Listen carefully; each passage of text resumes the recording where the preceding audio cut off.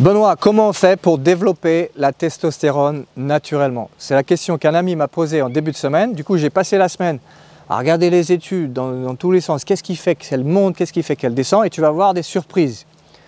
Voilà. Euh, premièrement, à quoi ça sert la testostérone? La testostérone, c'est une hormone, c'est l'hormone la plus connue chez les hommes. Au passage, cette vidéo s'applique surtout aux hommes, même si euh, euh, les habitudes peuvent être utilisées pour les femmes. Et apparemment, des fois, c'est un peu différent. Euh, et en plus, la testostérone n'est pas aussi importante pour les femmes. Donc, j'en reviens. Ah, c'est une hormone très importante, en, hormone androgène, c'est-à-dire qui a les traits euh, spécifiques à la virilité masculine. Donc, euh, la barbe, les poils sur le corps, la, voix plus grave en font partie, la force physique, l'endurance, la puissance, euh, en font partie. Les performances euh, à, la, à la fois athlétiques et à la fois au lit, avec la libido euh, exacerbée et la production de la spermatogénèse. Donc, très important pour les hommes. Sache aussi au passage qu'il y a eu un déclin très très important les 50 dernières années, de l'ordre de 1% par an de la testostérone chez les hommes. Bref, on est de plus en plus faible et euh, à nous d'y remédier. Et peut-être que dans la liste, tu vas te rendre compte des raisons pour lesquelles on a moins de testostérone. Allez, c'est parti. Premièrement, peut-être un peu ennuyeux de commencer par ça, mais apparemment c'est le plus important, dormir, quantité et qualité. Moins de, moins testostérone quand tu dors, moins et de moins bonne qualité. À toi de voir. À toi de voir. Deuxièmement, musculation avec des poids important. C'est quoi important? C'est-à-dire plus de 70% de ta répétition maximale. Qu'est-ce que ça veut dire? Tu prends une barre de squat, euh, disons que tu peux faire 100 kg en squat, tu fais entre 70 et 85 kg des répétitions de 2 à 3.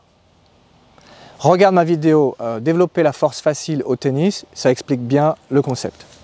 Troisièmement, Troisièmement, manger suffisamment. Si tu ne manges pas assez, ta testostérone baisse. Quatrièmement, les graisses. 20 à 30% de ta, ton assiette quotidienne. Beurre cru, bœuf, euh, viande rouge de qualité, c'est-à-dire euh, grass-fed, euh, des œufs, saumon, avocat, coconut, l'huile de, de noix de coco. Voilà, tout ça, c'est de la bonne qualité. Ensuite, cinquièmement, une surprise au passage, le vin rouge. Alors le vin rouge, apparemment, il y a une étude qui montre que un petit peu de vin rouge permet d'augmenter un peu la testostérone. Curieux. Par contre, si tu, si tu bois trop d'alcool, euh, la testostérone elle baisse. Euh, donc trop d'alcool, c'est à partir de deux verres, c'est mort. Ok? Donc peut-être un petit peu de vin rouge. Et c'est le vin rouge uniquement. C'est pas la bière, c'est pas le, vin blanc, c'est pas le whisky. Ensuite, ta, composition corporelle, si ton pourcentage de masse grasse est trop important, donc apparemment au-dessus de 20%, euh, la fourchette idéale est entre 12 et 15%, il semblerait. Euh, donc si elle est trop importante, à la place de, tu vas avoir du mal à développer ta testostérone, à la sécréter, et à l'inverse, tu vas développer plus euh, l'oestrogène et, des, et des, donc des hormones plus féminines.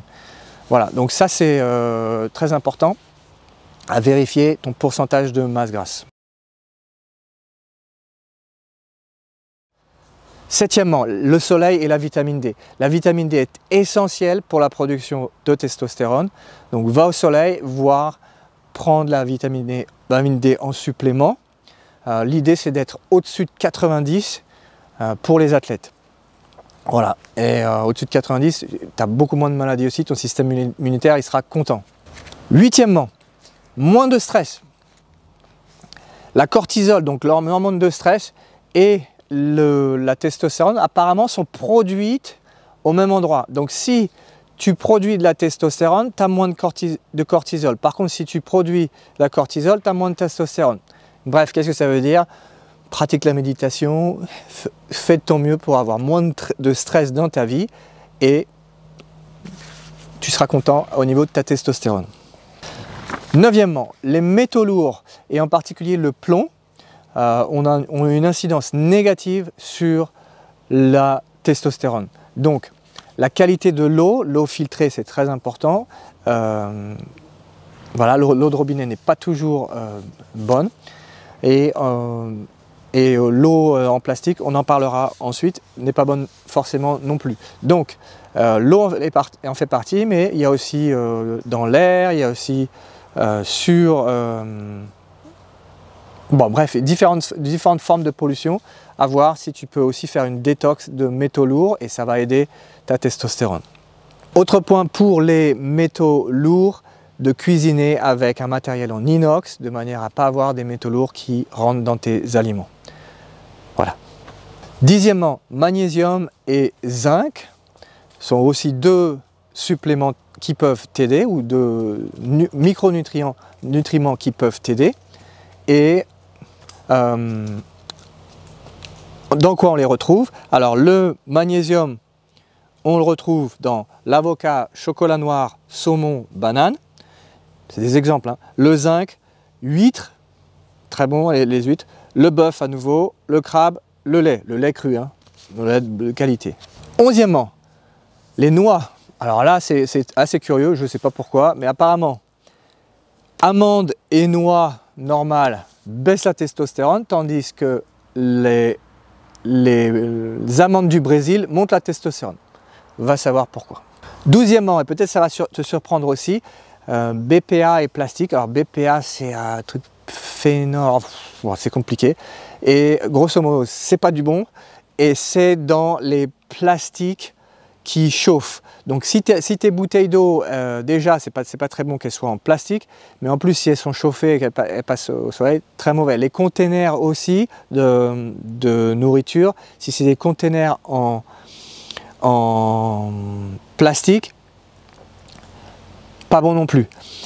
Euh, enfin, euh, surveillez aussi tes caleçons ou tes boxers en contact avec tes parties génitales c'est très important que ce ne soit pas avec des polyester et à la place des produits naturels comme le coton.